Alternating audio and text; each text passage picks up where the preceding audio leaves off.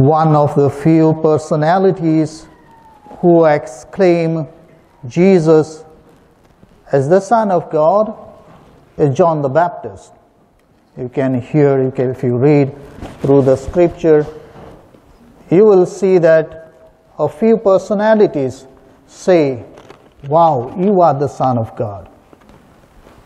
My dear brothers and sisters, today these three readings call upon us to reflect on Jesus. The Eucharist that happens here is the central uh, theme of or central event that takes place in our life. It is the source and summit of all that we do, the Holy Eucharist. And that's where Jesus comes down when the priest say the consecrated prayer and bless the, the wine and the bread. When we believe that on the blessing, the Lord's Spirit comes down and makes it holy. The first reading is wonderful reading where prophet Isaiah is introducing Jesus as the Lamb of God. He says that he is the servant who is sent by God on a mission to bring together all the people of Israel. Now, not only the people of Israel, Jesus is designated to bring, but then the whole humanity.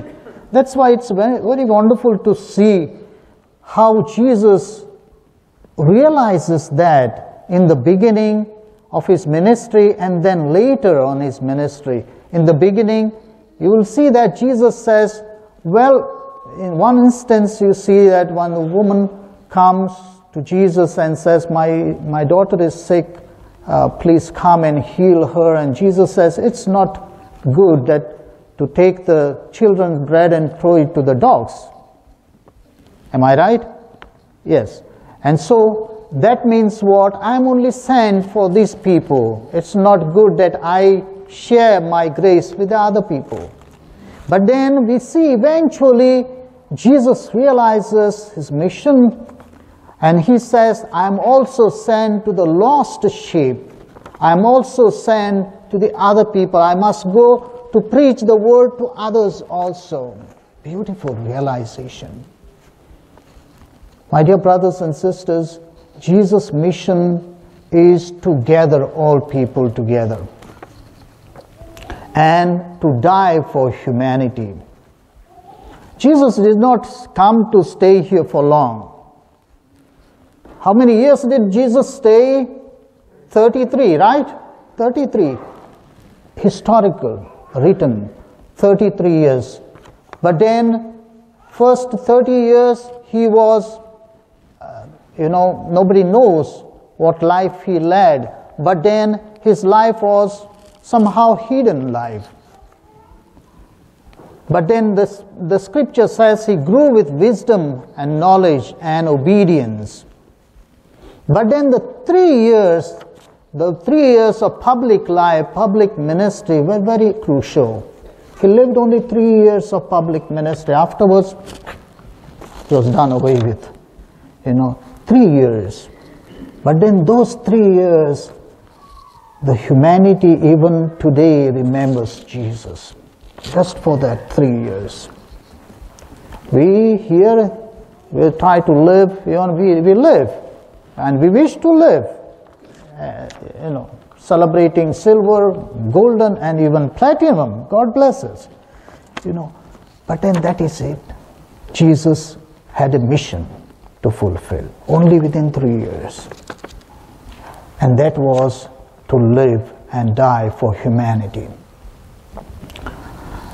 The lamb was very crucial for the people of Israel on the eve of Exodus, the first Exodus from Egypt, the Lord asked the people of Israel to sacrifice a lamb and then to shed this, to put that blood of the lamb on their doorpost because when, when the angel of the Lord who executes justice comes He will not attack the people who are in this house, you know, covered with the blood.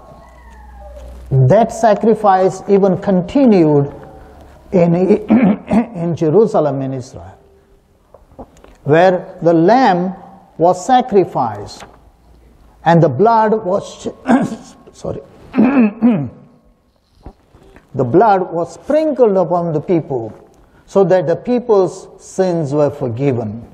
But that was momentarily. Every time people sin, they had to go and then sacrifice an animal. And most often it was the lamb that was sacrificed, unblemished lamb, pure lamb. That's why they had to be searching for a pure lamb, and that had to be also examined by the priest. Then only allowed to sacrifice, because that lamb, the, the blood of the lamb, would take away the sins. Jesus is the perfect lamb. He was a sinless lamb. That's why we call it a lamb, call him the Lamb of God. Only Jesus could come and sacrifice his life and shed his blood for us because he is pure. Because we all are human beings sinful. We are born in sin, we live in sin, and we die in sin. And that's why I come back to the sacrament of reconciliation. Jesus has established this beautiful sacrament of confession, where Jesus washes our sins, just like a slate. We write there and then we delete or we, we wipe it clean. That's what Jesus makes us. God makes us our hearts, removing all that is filthy and putting us, filling us with His grace.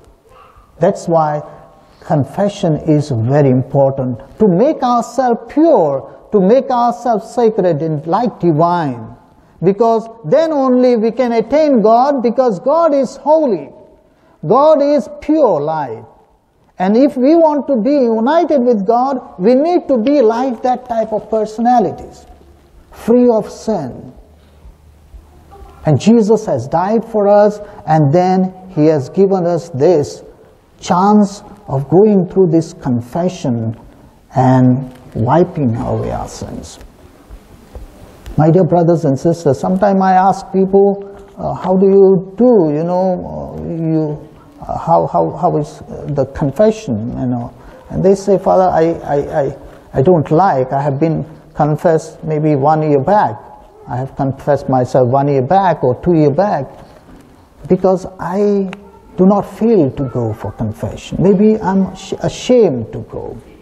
There is nothing ashamed because you are coming to the Lord and Lord is happy to embrace you back. So sacrament of confession or reconciliation is very important for us because God only can forgive sins and through the ministry of the priest, God is executing his forgiveness upon us. And that's why a very important thing is to be attaining that salvation which Jesus has won for us by shedding his blood on the cross.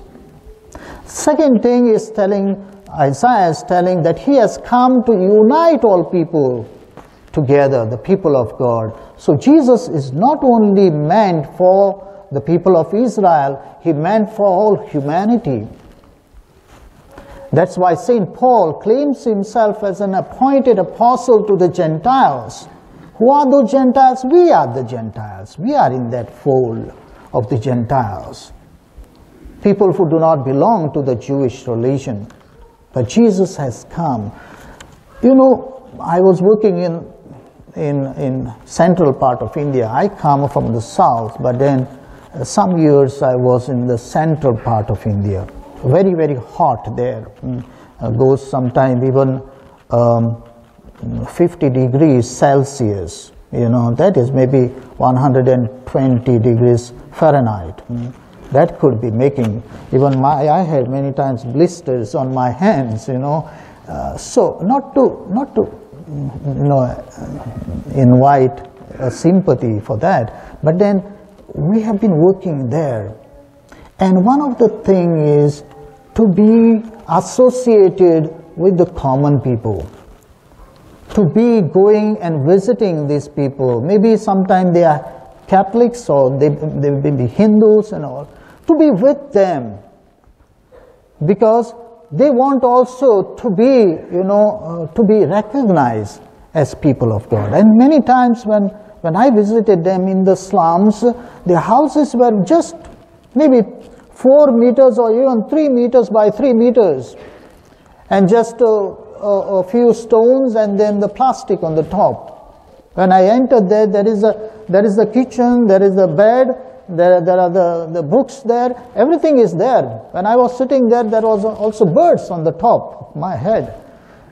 One thing is, people like to be visited by a priest or anybody for that matter. Listen to them. You know, that's what Jesus did.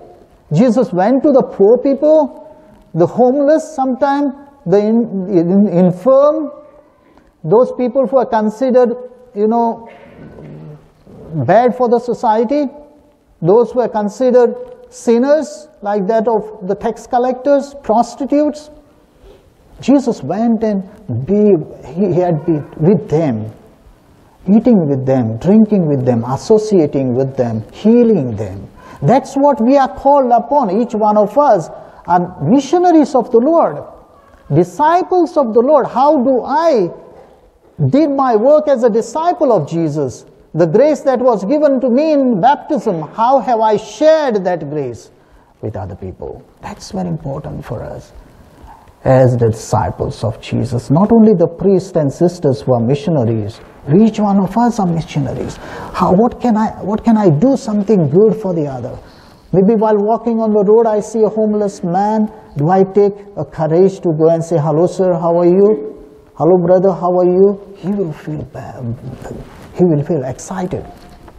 Just you call him brother, it makes a difference, my dear brothers and sisters.